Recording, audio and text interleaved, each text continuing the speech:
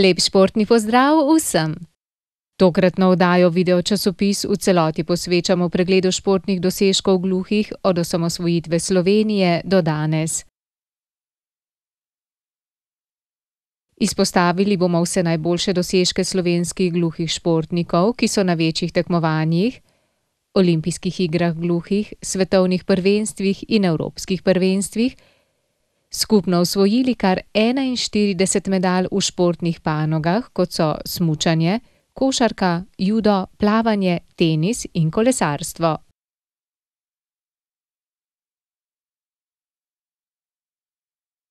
Vse se je začelo leta tisoč devetsto dvaindevetdeset, ko je potekalo evropsko prvenstvo v alpskem smučanju. Izvedeli boste tudi, kdo so najboljši športniki leta dva tisoč dvanajst. Ostanite z nami.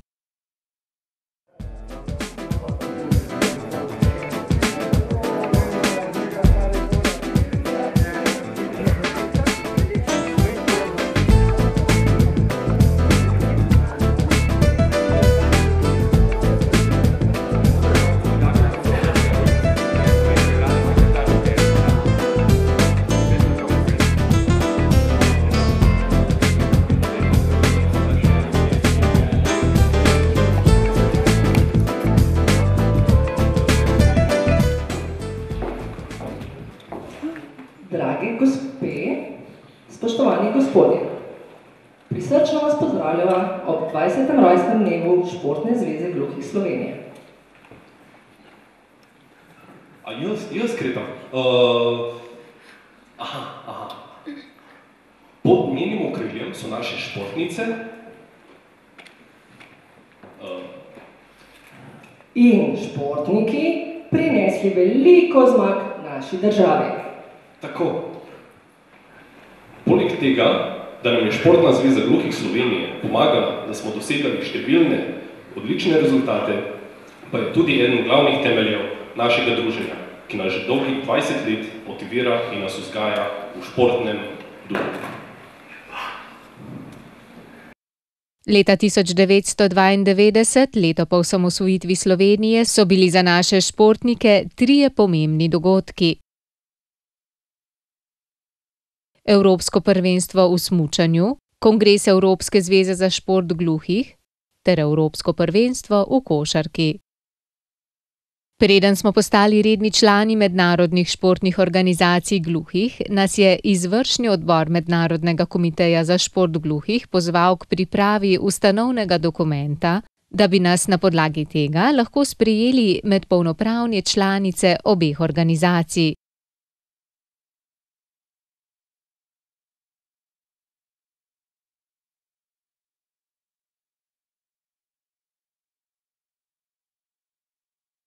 Ravno po osamosvojitvi Slovenije je bilo marca peto evropsko prvenstvo v smučanju, in sicer v francoskem smučarskem središču Serre-Chevalier.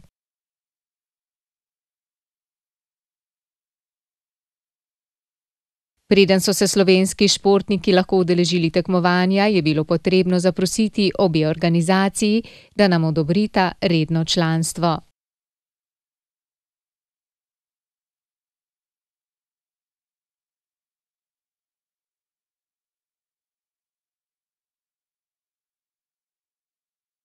Na šestem kongresu Evropske zveze za šport gluhih v Franciji je bila Slovenija na priporočilo Mednarodnega komiteja za šport sprejeta kot polnopravna članica, delegata pa sta bila Janez Slatinšek, predsednik Športne zveze gluhih Slovenije, in Aljoša Redzepovič, sekretar Zveze društev gluhih in naglušnih Slovenije.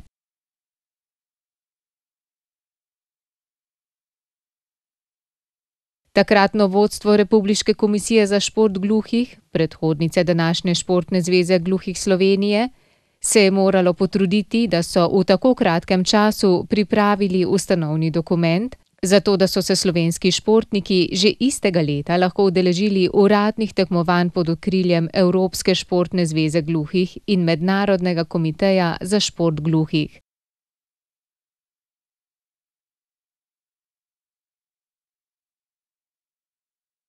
16. septembra tega leta pa so ustanovili Športno zvezo gluhih Slovenije.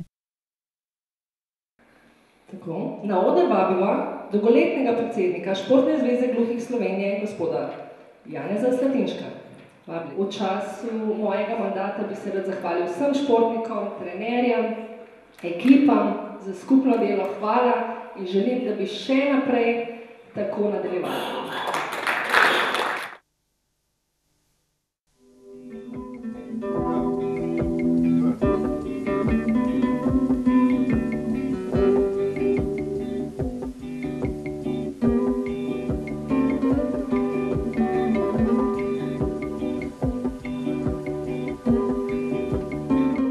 Po prehodu iz Jugoslavije v ustanovitev naše športne zveze, eh, neverjetnega veselja ob osvojitvi prvih medalj, ki ste jih osvojila Melina Sabina in samo Petrač in kasneje tudi neverjetnih uspehov košarkarjev. Eh, na naše športnike sem izjemno ponosen in mi je v izjemno čast, da sem lahko toliko let delal in prebil z njimi.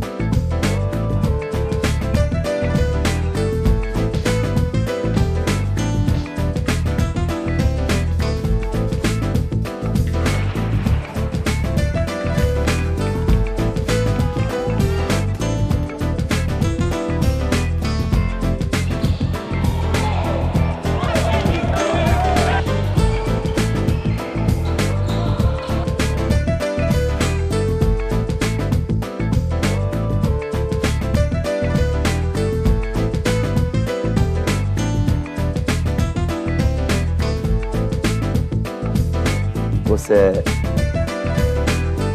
znebiš treme in greš v nadaljevanje domačinu, evropskemu prvaku, v petih minutah vprašanje izvleči se iz končnice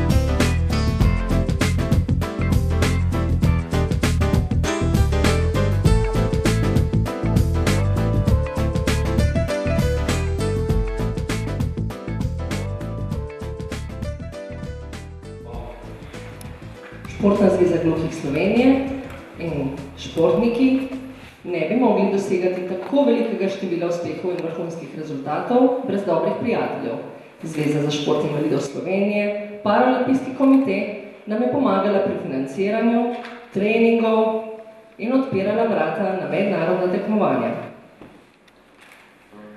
To je predsednik Zveze za šport invalidov Slovenije, Paraolimpijski komite, to je gospod Emil Muri, ki ga sedaj vabim na oder.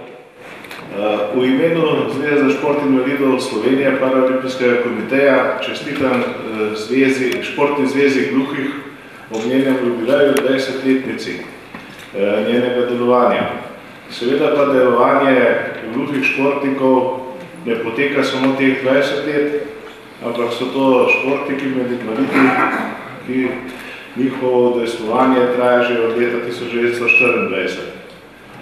Oni so pomemben del naše organizacije, naše zveze in gluhi športniki se ponovadi iz tekmovanj vračajo z medaljami. Posebno dobre rezultate so dosegli v letošnjem letu v košarki, kar je že tradicionalno, da so dvakratni evropski prvaki. Pomemben delež dajo tudi v dviganju kvalitete športa, saj je eh, predsednik naše zveze, gospod Tone Petrič, ki zelo dejavno sodeluje v delu naše organizacije in v izboljšanju položaja športa invalidov v Sloveniji, ki še zmeraj ne zadovoljuje oziroma ni še zmeraj enakopraven z športom vseh državljanov Republike Slovenije, ampak mislim, da je skupnimi močmi in z razumevanjem ostalih športnih dejavnikov v Sloveniji bomo skupnimi močmi dosegli čim boljši položaj športa invalidov, kako tudi športa gluhih. Sedaj pa na oder vabiva vse stranskega športnika, ki nikoli ni tekmoval, saj je bolj filozofske narave, vendar se je za naše športnike požrtvovalno boril. So s ponosom ponesli v svet ime Slovenije. Prinesli domov 41 medalj z največjih svetovnih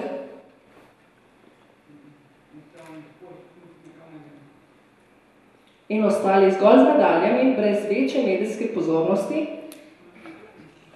in ugodnostmi, kot jih imajo športniki neinvalidi. Denarna nadomestila, zaposlitev pod posebnimi pogoji, državna uprava nič, denarna nadomestila nič,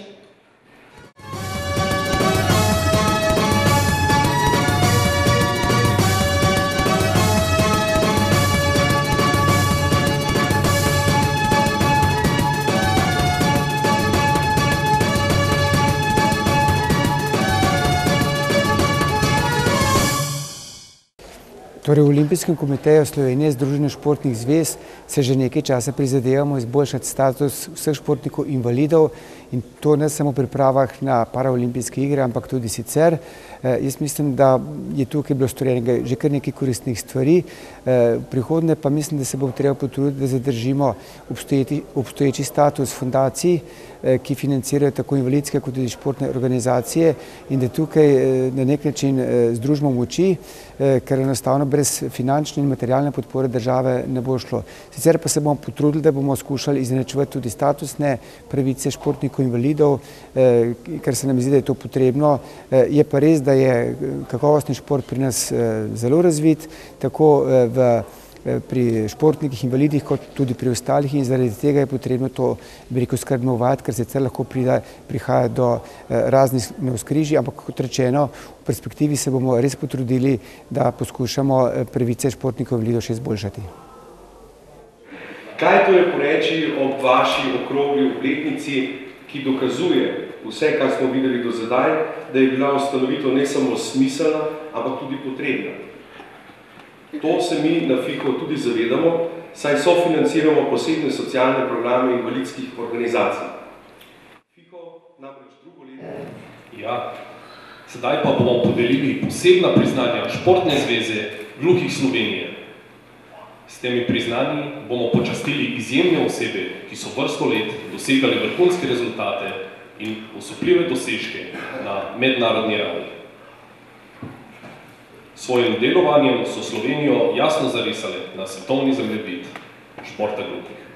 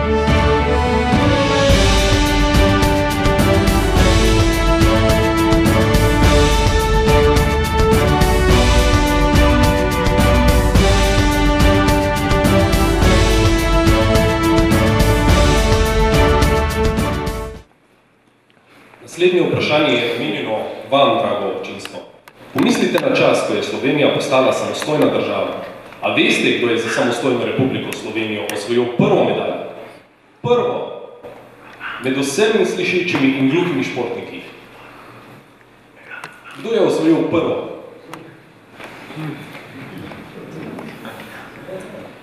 Jaz se tega trenutka zelo dobro spominjam. S ponosom vabim na rdečo preprogo izjemno smučarko, ki je 18. marca 1992 vse ševalje v Franciji, naši samostojni republiki, prismučala prvo medaljo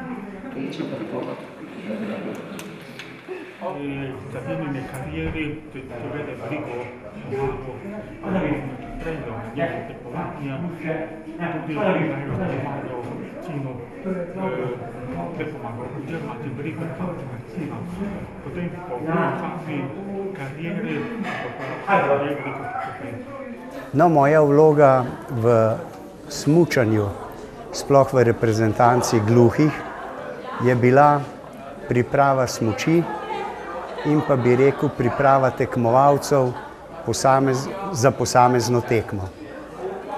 Zdaj, kar se tiče osvojenih medalj, samo tako kot mojega sina, sem jih bil seveda zelo vesel, vendar brez njegove zauzetosti, trme in pa tudi ostalih tekmovalcev, kot je bila Sabina, Lojska in samo, mi teh medalj ne bi mogli usvojiti, ker moje delo je bilo samo kamenček v vsem tem.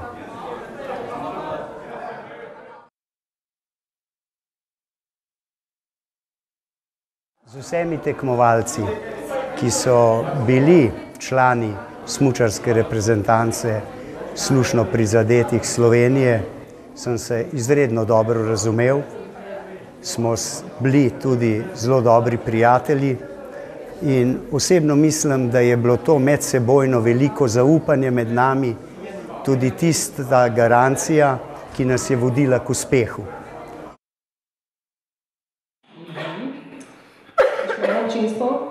A veste, kdo je za samostojno Republiko Slovenijo osvojil prvo ekipno medaljo?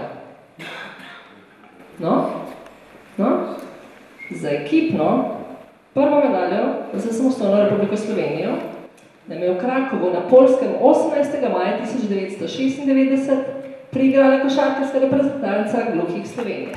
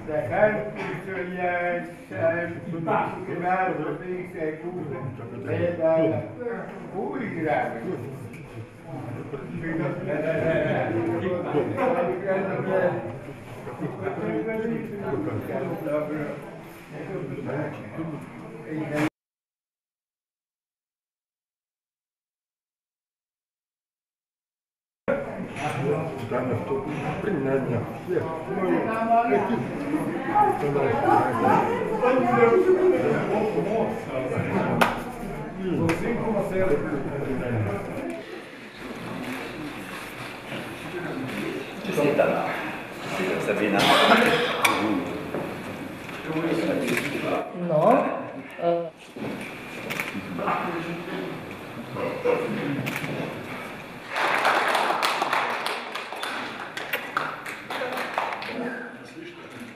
priznanje od Petra. Gluhim sem prišel uh, kot košarkaški trener in nikoli, to je bilo mislim leta 75 in nikoli si nisem mislil, uh, da me bo to trenerstvo vodilo uh, pri delu z gluhimi več kot pol življenja. Uh, kas, z kometom, ki je bil ljubljanski klub gluhih košarkaški, smo prišli v vrh Jugoslavije in postal sem uh, pomočnik glavnega trenerja in se udeležil prvih olimpijskih iger leta 77 v Romuniji. Uh, kasneje sem jih vodil še na enih olimpijskih igrah in še na dveh evropskih prvenstvih. Uh, to delo me je tako pritegnilo, da sem uh, kasneje prevzel mesto sekretarja, uh, ki sem ga upravljal do svojega odhoda v pokoj.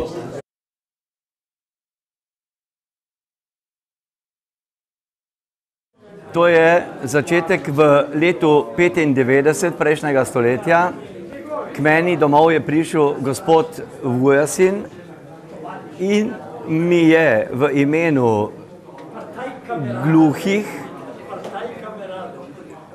podal eno prošnjo, če bi bil v stanju prevzeti v njihovo reprezentanco, ki se pripravlja na kvalifikacije za Evropsko prvenstvo Brumen. Srečen sem, da je prineslo zadovoljstvo obema stranema. Meni kot strokovnjaku, trenerju in mojim igralcem,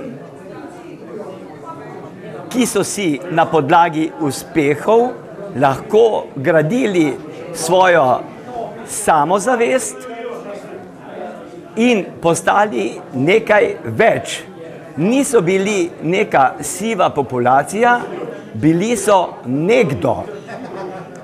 Osvajali so uspehe, bili so pomembni, ampak za koga so bili pomembni? Pomembni so bili za tisto sredino, v kateri so oni gor zrasli, marsikateremu mlajšemu od sebe so nakazali pot, kako se da kljub nečemu, kar ti manjka v življenju uspeti in biti pomemben. To so bili moji košarkari.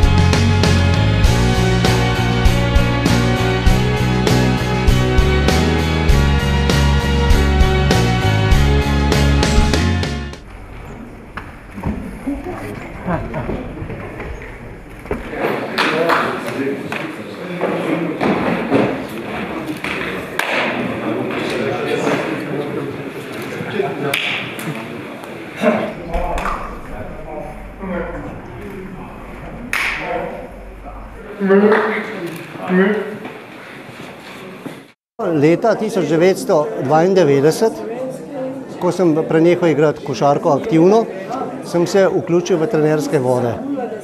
Od takrat naprej sodelujem kot trener reprezentance. Prvi moj eh, kolega je bil eh, Primož Brezovec, Brezovec, kjer sva reprezentanco popeljala na prvo evropsko prvenstvo v Izraelu leta 1992. Od, ko se je eh, Brezovec poslovil, sem potem je prišel novi trener in sem eh, pod njegovim vodstvom, to je bil Petr Brumen, pod njegovim vodstvom sem bil pomočnik 20 let kjer sem deloval v različnih vlogah, največ kot pomočnik trenerja, tudi delno kot organizator in tako naprej. Za, za športnika leta.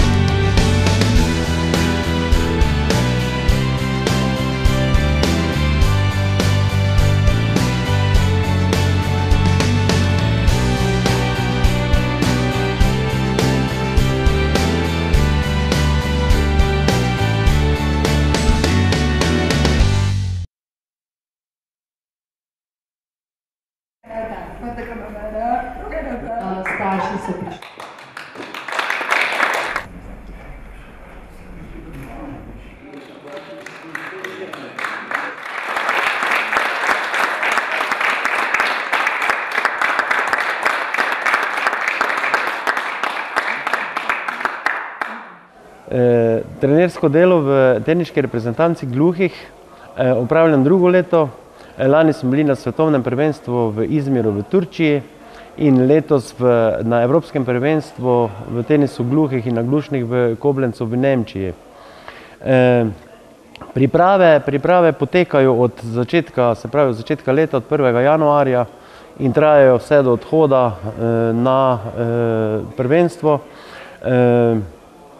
Marino, Marino trenira tudi v slišečem klubu, v klubu ŽTK Maribor in skupaj, skupaj imamo eno zelo dobro strokovno ekipo, ki jo sestavljata trenerja Istok Božič in Tomaš Berendijaš. V reprezentančnem delu pa v bistvu te prevzemem te stvari jaz in tako kombiniramo, kombiniramo te se pravi, se pravi programe in tako naprej. Igram tenis in sem drugi športni leta. Naslednje leto nas čaka eh, novo veliko tekmovanje, to je, so olimpijske igre gluhih, Deaflympics, ki bodo v Sofiji eh, konec julija.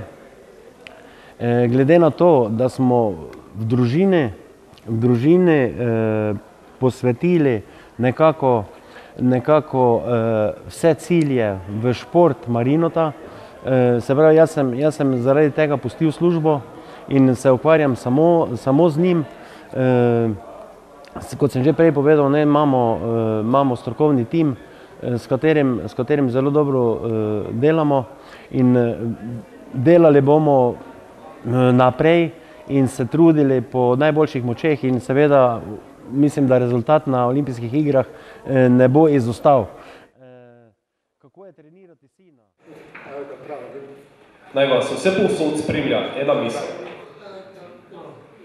Valerija, pomagaš? Ja, ja. Naj vas spremlja uspeh in ustrajnost povsod. S ponosom nosite našo zastavo še naprej.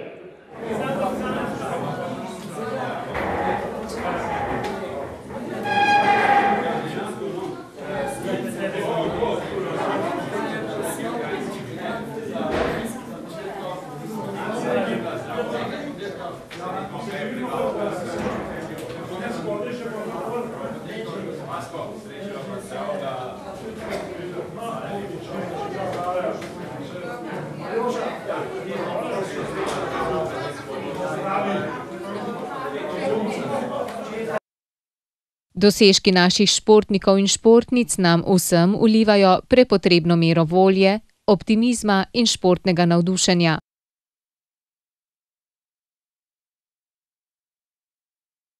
V veliko čast mi je, da lahko to povem v imenu športnikov in športnic, ker nas podpirate, ker ste z nami, kajti s tem imamo športniki občutek, da je z nami vsa Slovenija.